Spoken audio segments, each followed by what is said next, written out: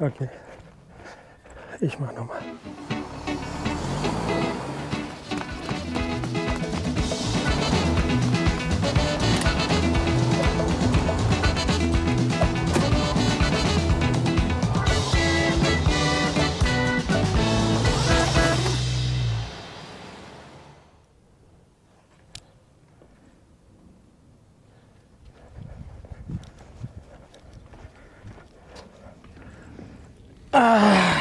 Ist das nicht schön? So, The sun is shining. Auch in Germany.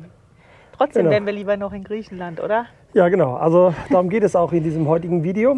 Erstmal schön, dass ihr wieder eingeschaltet habt. Ja, äh, es geht um Griechenland. Wir wollten mal so einen kleinen Abriss euch geben, was wir so erlebt haben. Das wird halt ein sogenanntes Laber-Video.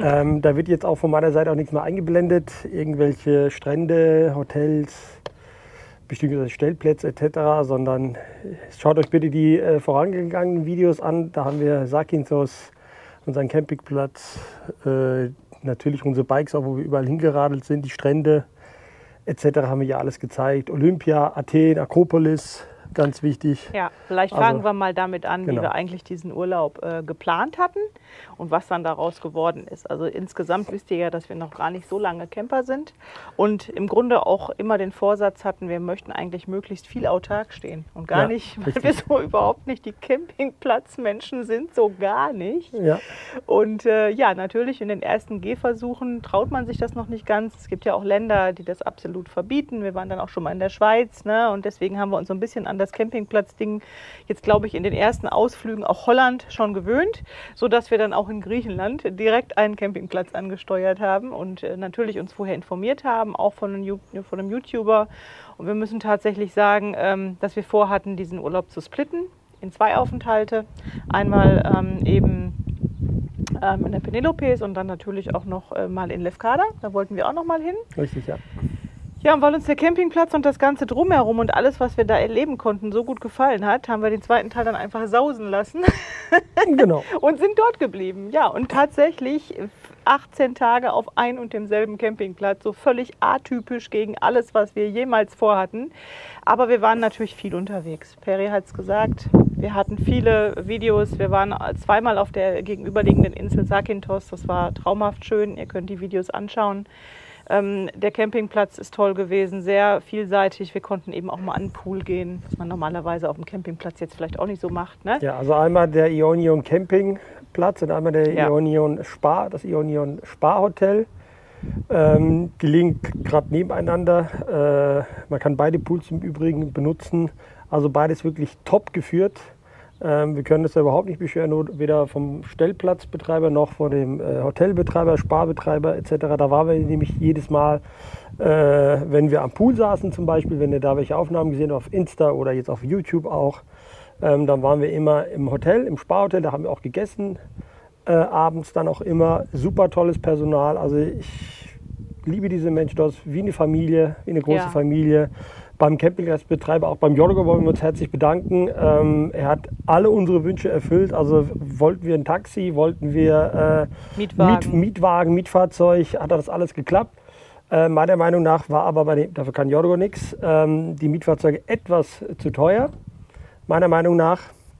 Und Ja. da gab es das eine Modell da, der war ganz gut für ringsrum. Äh, das war der, dieser Chevy. Genau, Ja. wo die Klimaanlage übrigens top war. Aber ansonsten ähm, für andere Ausflüge, wenn es jetzt hochging oder so, das war schon, äh, und es ist auch Peloponnes ist bergig.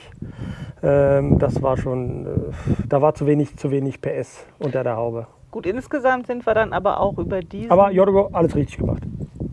Insgesamt sind wir dann aber auch über diesen Umstand dahin gekommen, dass wir festgestellt haben, wenn wir uns bewegen wollen und an einer Stelle bleiben, dann sind die E-Bikes super für den nahen Umkreis. Das haben wir auch sehr, sehr viel genutzt und sehr viel gemacht. Wir lieben unsere Super 73 Bikes. Es war unglaublich cool, da solche Steigungen ohne Probleme hochzuradeln. Ähm, Das war wirklich cool. Aber wir hatten zum Beispiel auch vor, dann auf die gegenüberliegende Insel Zakynthos mit den Rädern zu fahren, also mit der Fähre natürlich und den Rädern.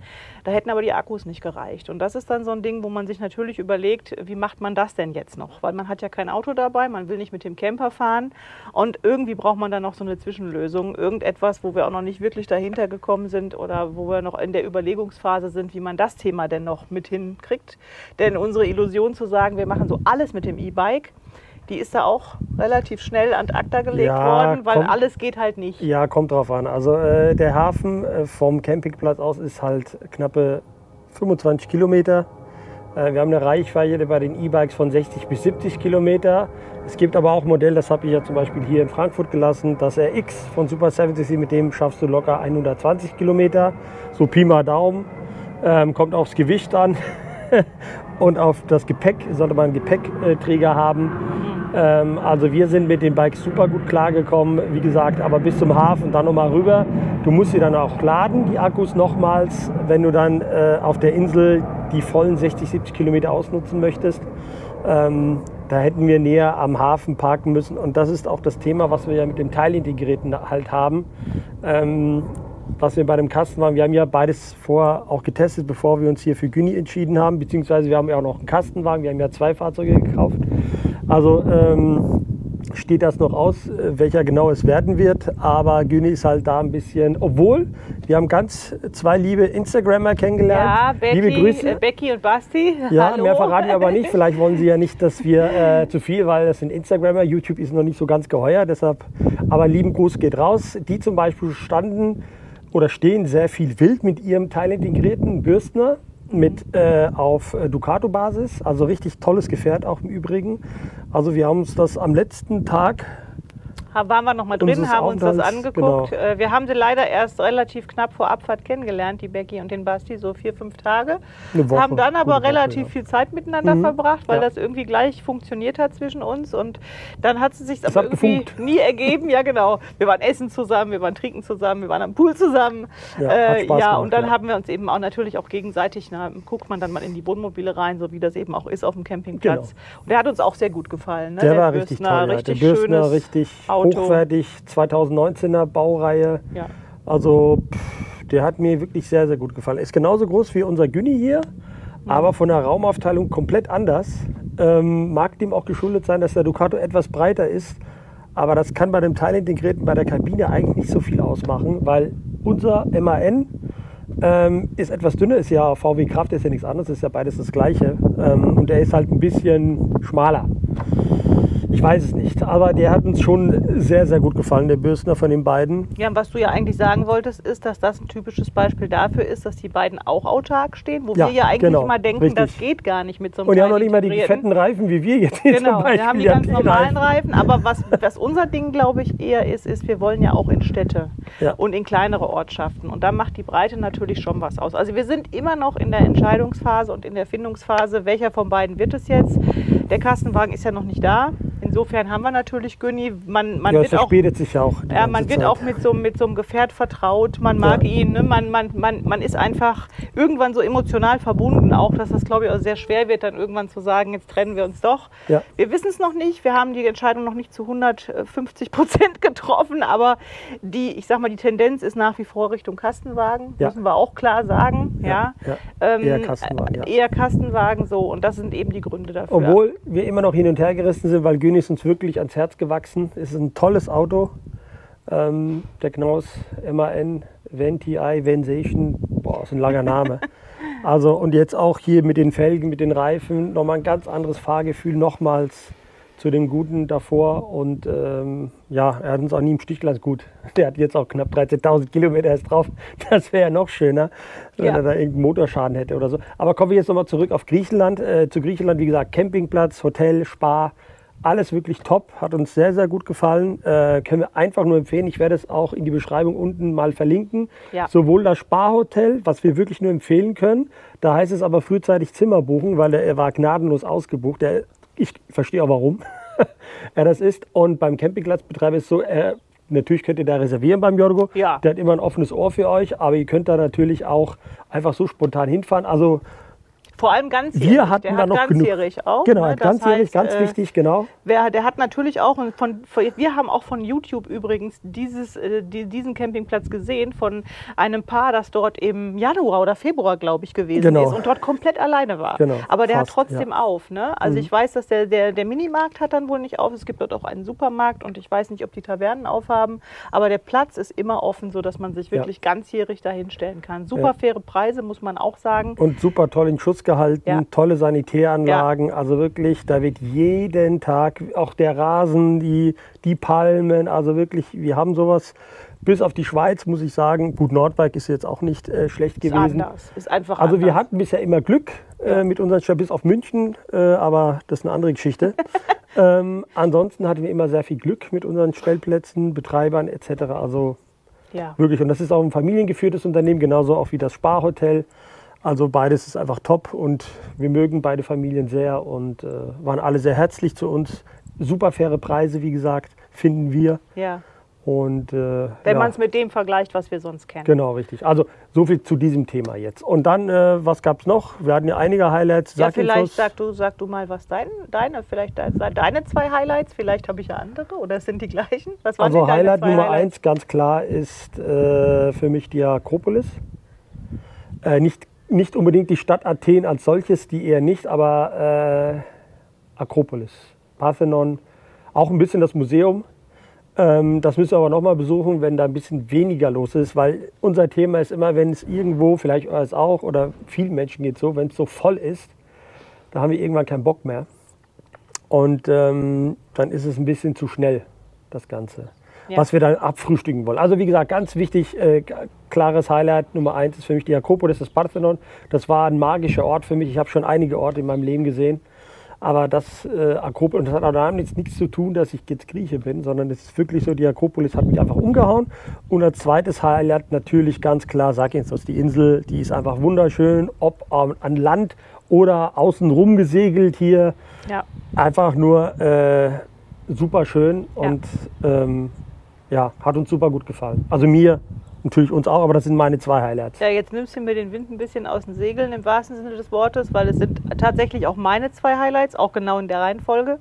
Ich bin keine Griechin, aber äh, ich, ich, hab, ich bin da hochgegangen. Ähm, Akro Akropolis ist ja der Berg, das, worauf das Parthenon dann einfach steht. Und ich habe gedacht, ähm, das erschlägt mich. Also das war so beeindruckend, trotz der vielen Menschen, dass man einfach auch wie in so einer Starre erstmal war. Und man hat das ja schon tausendmal im Fernsehen gesehen und sonst wo. Aber man kann sich nicht vorstellen, was da für ein Gefühl herrscht, wenn man da hochgeht. Insofern war das auch meine Nummer eins.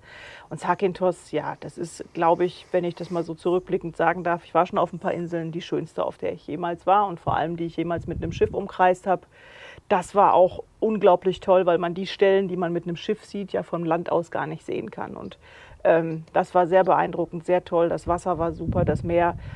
Einziges Manko haben wir aber auch schon ein paar Mal gesagt, die vielen Menschen. Dann darf man aber auch nicht in der Hochsaison fahren. Das haben wir getan. Insofern muss man den Drops dann lutschen, wenn man das tut.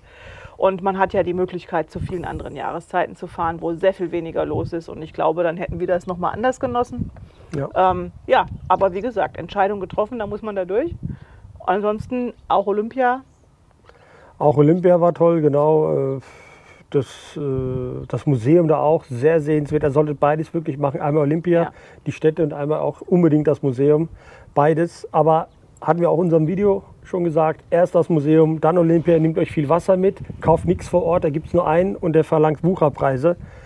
Ähm, ansonsten, ja, die Strände, das Essen, alles war top. Also ich habe kein einziges negatives Nee, negative Erlebnisse hatten wir nicht. überhaupt nicht. Überhaupt Weder nicht. mit dem Essen noch, man, auch das ist natürlich Auch klar. das Menschliche war super. Also Ge- geht man gut. in eine Taverne, die nicht, die nicht äh, sag ich mal, touristisch ausgelegt ist und wo die Mama und der Papa noch am Herd stehen, ist es natürlich nochmal ein anderes Niveau an Essen, wenn man wirklich griechisch essen will. Zu Preisniveau, ja, also ich kann das ja einfach mal so sagen. Wir haben da teilweise für zwei Personen mit 40 Euro gegessen und getrunken. Also Wein, normale Getränke, mehrere Gänge, Vorspeisen, Gemüse, Patates, alles, was sie halt äh, machen, die Griechen, und sind mit 40 Euro da vom Hof. Ja, das passiert halt, wenn man in eine griechische Taverne geht, die nicht für Touristen gemacht ist. Geht man in die für Touristen, bekommt man auch sehr gutes Essen. Es ist aber natürlich dann auch oftmals der doppelte Preis einfach. Ja? Ja. Das, das kann man so sagen, aber es ist trotzdem gut. Man muss sich eben entscheiden, was man da will. Ich glaube, wir haben die Erfahrung gemacht und das würde ich auch jedem so weitergeben. Ähm, fahrt auch mal in die Nebenstraßen. Genau, das fahrt, kommt geht mal vom Weg ab. Das haben wir auch mehrfach gemacht. Mit den Bikes aber. mit den, mit den Bikes, dass Das man mal das- äh, abseits der ganzen Genau. anderen Geschichten Ja. fährt, was man da sieht und was man da erlebt, ähm, das ist einfach schön. Weil die Wege sind lang in Griechenland. In Griechenland brauchst du entweder ein Auto oder ein Motorrad. Äh, mit dem Fahrrad kommst du nicht viel weit, weil durch die Hitze, aber mit dem E-Bike überhaupt kein Thema. Dann schaffst du jede Steigung, alles ist super, äh, macht riesig viel Spaß. Klar haben uns die Griechen ein bisschen komisch angeguckt, einige, die uns überholt haben. Weil sie nicht wussten, dass Autos. das E-Bikes sind. Ja, zu, ja, ja, genau. Genau darum ging es halt. Die dachten sich, oh Gott, die fahren hier um 13 Uhr. Mein sind die Gott, bescheuert? äh, doofe Touris mal wieder. Äh, kriegen noch einen, äh, äh, äh, naja, einen. Sonnenstich. Oder einen Hitzeschlag, genau. Aber nee, war alles gut. Und auch die Strände, Peloponnes ist wunderschön, die Halbinsel. Ähm, was uns aufgefallen ist natürlich, wenn ihr die Autobahn benutzt in Griechenland, äh, alle paar Kilometer Maut stellen. Das geht ein bisschen ins Geld. Äh, äh, deshalb sehen, haben wir auch nicht so viele Fahrzeuge gesehen von Einheimischen, weil die einfach die normalen Bundesstraßen benutzen. Ja. Aber wenn du jetzt schnell vorankommen willst, äh, sind diese Straßen einfach top. Also wenn du wirklich äh, vom Norden nach Süden, vom Westen nach Osten die Autobahn nimmst, dann kannst du davon ausgehen, dass sie verlangen zwar Geld dafür, aber dann ist auch die Autobahn dementsprechend wirklich super in Schuss gehalten, Ja. meiner Meinung nach. Ja, also auf jeden Fall war die griechische Autobahn mit die beste, über die wir gefahren sind. Ähm, also ein paar andere Landesgrenzen, die wir überschritten haben, da sahen die Autobahnen weniger gut aus und die nehmen auch Maut, ja. Aber kann man, ja, Also Nordmazedonien war so ein Highlight, leider auch Kroatien. Da waren auch die Straßen nicht so gut. Nordmazedonien, obwohl da haben sie es jetzt, 2017 war das letzte Mal mit dem Auto in Griechenland. Ja. Da war es noch ein bisschen schlimmer. Jetzt haben sie wirklich auch was getan. Also so ist es nicht. Ähm, was leider in Griechenland nach äh, der Grenze nicht gemacht worden ist, äh, von der Landesgrenze Griechenland bis zu Saloniki fast schon, ähm, ist die Straße Schrott. Da haben sie gar nichts gemacht. Da hast du Löcher ohne Ende. Und da musst du auch dementsprechend fahren. Und äh, wenn du dann reinfährst und dann erstmal mit den griechischen Überholmanövern noch nicht so äh, konform, ich meine, ich hätte sie vorher gehabt. Tanja hat sich ein bisschen erschreckt, ähm, weil dann hat auf einmal äh, ein Busfahrer einen LKW überholt und ähm, die sind ja ein bisschen breit, äh, die Jungs, aber Gott sei Dank ist die Straße auch entsprechend breit. Du musst halt dann den Standstreifen noch nehmen und etwas weiter rechts fahren und dann, dann ist auch gut. Also in Griechenland finde ich, äh, fahren die Menschen viel entspannter, auch wenn sie links und rechts ein bisschen gehupt wird, so gut wie gar nicht. nö. Äh, Also Hupen hatten wir gar nicht gehört und auch in Athen zum Beispiel nicht, wo wir reingefahren sind. Das war wie gesagt auch so ein Highlight. Äh, Das war vielleicht ein bisschen negativ, aber so fahren Der die halt da. Verkehr meinst du? Ja, Ja, gut, der aber das ist ja nun mal Verkehr so. beziehungsweise wie sie fahren, links und rechts, da Ja. haben sie so ihre eigene Logik.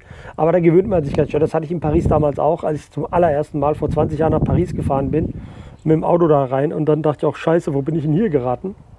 Noch als Fahranfänger. Aber ähm, lässt sich alles, alles lösen. Also es ist, ja, war gut. Das, das nur am Rande, das sind Kleinigkeiten, die kennt man aber auch aus anderen Städten und da seid ihr anderen ja sicher auch, ich sag mal, ja, im Laufe einer Fahrzeit so, dass man sowas eben öfter mal erlebt. Genau, richtig. Wir haben die Erfahrung gemacht, dass wenn man links fährt auf der Autobahn, es wesentlich besser ist, weil rechts fahren ja immer die LKWs und die machen die Schlaglöcher. Ja, Die linken Spuren waren meistens besser. Kleiner Tipp am Rande. genau, genau. Ja, ansonsten äh, guckt euch die Videos an. Wir Genau, haben ganz viel ja schon an. gemacht. Dort seht ihr die Bilder dazu. Das war einfach so ein bisschen unser Fazit, wie es uns gefallen hat. Wir werden definitiv spätestens nächstes Jahr wieder nach Griechenland fahren. Aber wir gucken uns natürlich in der Zwischenzeit auch noch andere Länder an. Wir haben noch ein paar Pläne für die nächsten Monate. Genau, noch eins äh, darf ich nicht vergessen, wenn ihr über Land fahrt, also über die Transitstrecke Jugoslawien, sage ich jetzt mal übergeordnet für alle Länder da, jetzt nicht böse nehmen. Ähm, da solltet ihr ein bisschen Zeit einplanen, wenn ihr in der Hochsaison fährt. Also äh, die Grenzen Kroatien, Serbien oder Serbien, äh, Nordmazedonien, da müsst ihr ein bisschen mit Zeit einplanen. Ähm, das war bei uns sowohl bei der Hinfahrt als auch bei der Rückfahrt hat es ein bisschen gedauert. Das nervt halt, wenn du da zwei, drei Stunden stehst. Ähm, Die Jungs machen aber alle ihre Arbeit. Also ist nicht so, dass da einer hier Däumchen dreht oder so. Das haben wir dann gesehen, wie wir weiter vorgefahren sind. Was ist denn hier los? Wieso geht es nicht weiter? Oder warum geht es so langsam weiter?